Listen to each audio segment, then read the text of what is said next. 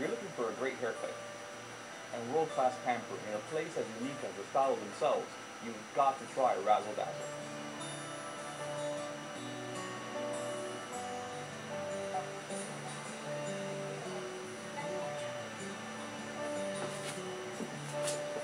I wanted to create an ambiance that was a throwback in time to a real old-fashioned barbershop with a touch of a woman.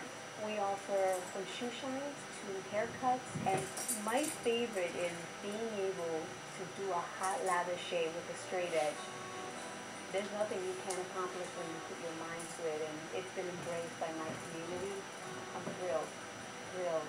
I do a lot of work for the underprivileged uh, mothers and children. We help the mothers, we help the kids, and versa.